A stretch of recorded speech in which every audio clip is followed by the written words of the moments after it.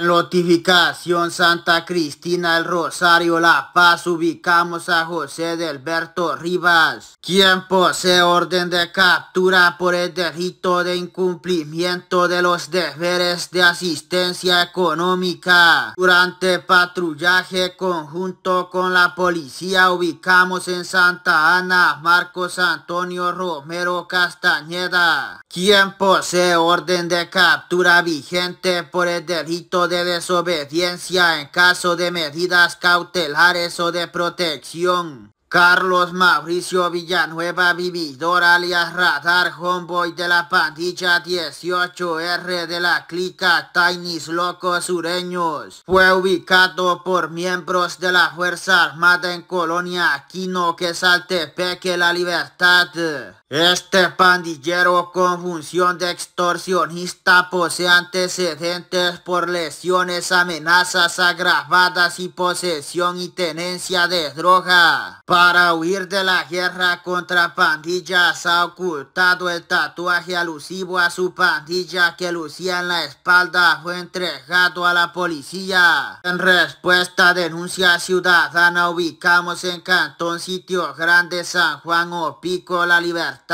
a Enrique Hernández Paz por el delito de agresión sexual en perjuicio de una menor de edad.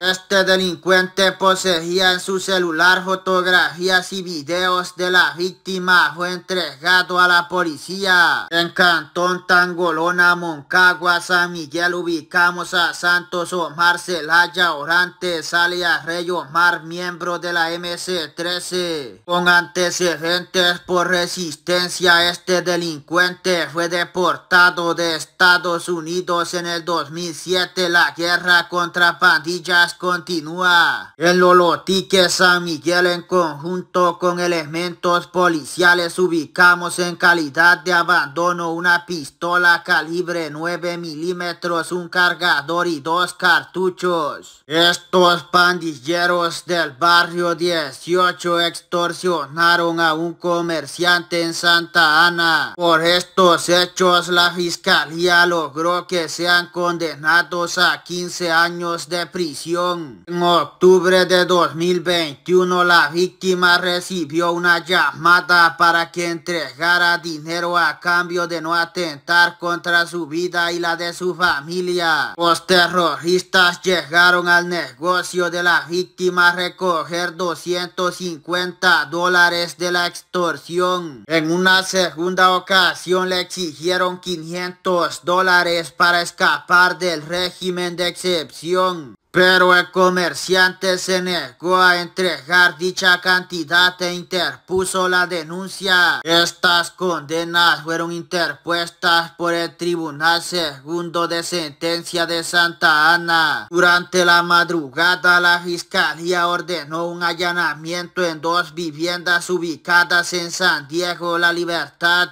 vinculadas con José Samuel Peñate Sola procesado por trágico ilícito durante los registros se detuvo a Oneida de Los Ángeles Vides Portillo, cónyuge del imputado, ya que se encontraron 15.059 dólares enterrados en el patio de las viviendas, así como dos vehículos. Peñate era docente de un centro educativo ubicado en el Sonte La Libertad y fue capturado por la policía el pasado 5 marzo en posesión de 4.826 gramos de marihuana, 837 en efectivo, dos celulares y un vehículo. Ubicamos a Eric Giovanni Morales Mejía, homeboy de la MS-13, con antecedentes por hurto de vehículo y apropiación o retención indebida. Este pandillero ha cubierto tatuajes alusivos en su pecho con otro diseño. Lo ubicamos en la colonia Los Pinos Santa Ana y será entregado a las autoridades para que enfrente a la justicia.